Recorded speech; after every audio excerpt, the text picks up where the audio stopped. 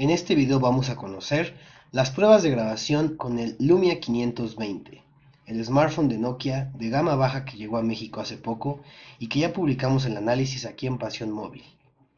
El primer video que vamos a ver está en interiores, aproximadamente fue grabado a las 5 de la tarde.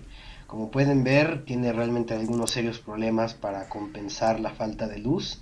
Si bien en fotografías el software de postprocesamiento que trae integrado el Lumia hace un muy buen trabajo. Como pueden ver en el video realmente tiene demasiado ruido la imagen. Supongo que está usando un ISO de 800 o más y realmente no tiene buena calidad. Si bien inclusive está aventando luz de apoyo, perdón, no tiene luz no tiene, no cuenta con luz de apoyo, sin embargo realmente la calidad no, no da para, para grabar en este tipo. Pero en exteriores la situación cambia mucho, como pueden ver. Este video fue grabado en las afueras de la Ciudad de México, tiene realmente había ya nubes, estaba bastante gris el día, sin embargo pueden ver las variaciones de compensación que hace el teléfono automáticamente.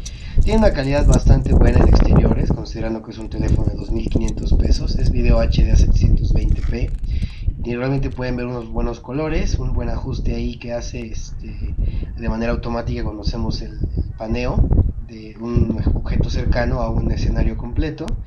Y realmente como pueden ver el cuerpo de agua se ven muy bien las ondas. Sin embargo a continuación van a ver un video grabado de, noche donde realmente ya se ve fatal la imagen y realmente no es tan oscuro como pueden ver en otros videos de pruebas de grabación que hemos publicado que también tiene esta, típica escena que siempre grabo pero el UM520 realmente no, no hace buena, una buena labor les agradecemos haber visto nuestros videos y suscríbanse al canal.